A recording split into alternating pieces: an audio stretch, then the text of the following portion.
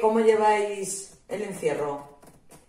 Hoy mm, he pensado grabar eh, lo que voy a hacer de cenar. Bacalao. que parece que voy a hacer una serie de bacalao. Eh, serie de, recetas de bacalao. Pues no, ha sido casualidad. El otro día hice unos buñuelos de bacalao y hoy voy a hacer una especie de, mm, de ajo arriero, de bacalao al ajo arriero, pero un poco más light. Entonces vamos a empezar poniendo un poco de aceite a calentar mientras os explico los, los ingredientes. ¿Vale? Aceite ponemos muy poco. Nada. Una cucharada y media o una cosa así. Y ahora, mientras se calienta, mirad, tengo aquí pimiento rojo y pimiento verde cortado pequeño. Aquí he puesto mm, como un cuarto de cebolleta y, mm, y un trozo de puerro, también cortado pequeño.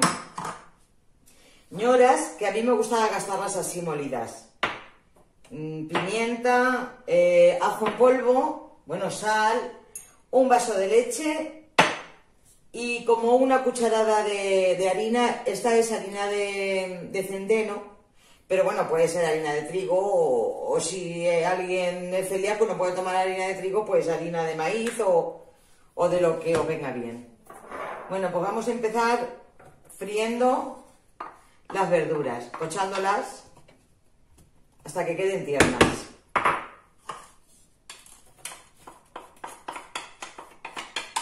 Bueno, pues voy a pocharla y ahora volvemos, ¿vale? Bueno, pues ya está la verdura pochada. Y ahora le vamos a poner un poco de, de ñoras.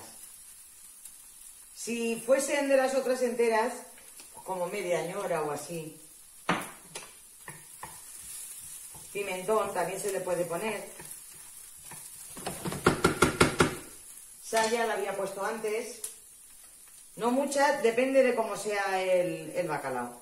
Si es de salado o es de ese punto de sal o es fresco. Un poco de ajo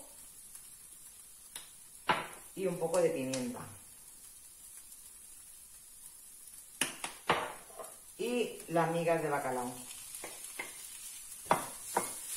Bueno, tendría que haber echado la pimienta después del bacalao, pero bueno, es igual. Como lo he echado seguido, no le da tiempo a, a quemarse ni nada. Lo sofreímos un poco, un minuto o dos. Échale un poco de sal también al bacalao. Es una receta súper sencilla, ya digo que tiene muy pocas calorías porque lleva muy poco aceite y está buenísima. De verdad que parece que estás comiendo, yo que sé, algo buenísimo. Y es, no tiene, vamos, es muy sencillo de hacer. Bueno, ahora le ponemos la harina.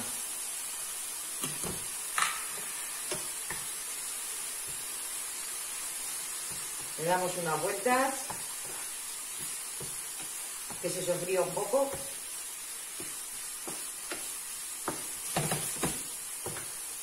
Y le ponemos el vaso de leche.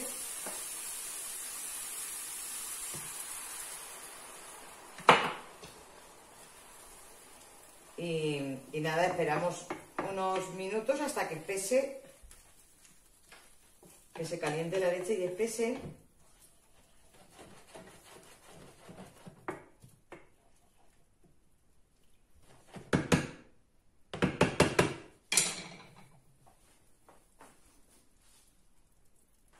Bueno, pues esto ya está. Ahora lo, lo emplatamos. Y se le puede poner encima, que queda muy bien, unas, unos, a ver si lo digo, unas lonchas de, de jamón así muy tostado en el horno, crujiente, eso le queda muy bien. O, o como voy a hacer yo,